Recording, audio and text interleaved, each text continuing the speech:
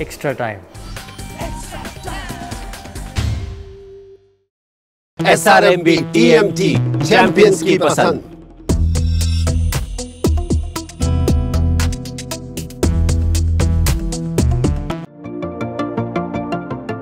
বড় ধাক্কা কেকেআরের চোটের জেরে আইপিএল দু থেকে ছিটকে গেলেন প্যাট কামিন্স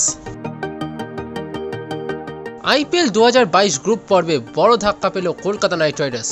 নিতম্বে চোটের জন্য ছিটকে গেলেন তারকা অজি ক্রিকেটার প্যাট কামিন্স। শুক্রবার সকালবেলায় ক্রিকেট ডট কম ডট অস্ট্রেলিয়ার রিপোর্ট অনুযায়ী চোটের কারণে সিডনিতে ফিরে আসতে চলেছেন অস্ট্রেলিয়ার টেস্ট অধিনায়ক।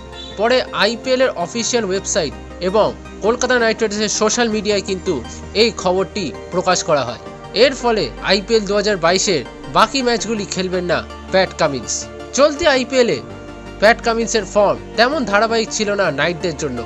প্রথম ম্যাচে চোদ্দ বলে অর্ধ শতরান করে মুম্বাই ইন্ডিয়ান্সের বিরুদ্ধে ম্যাচ জেতান কামিন্স। কিন্তু তারপর বোলিংয়ে দিশেহারা অবস্থা হয় তারকা পেসারের, যার ফলে চার ম্যাচ বসতে হয় কামিন্সকে।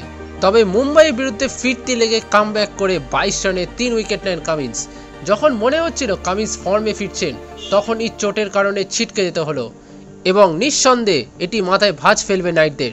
যেহেতু প্লে অফসে যাওয়ার এখনও ক্ষীণতম আশাটা কিন্তু রয়েই আছে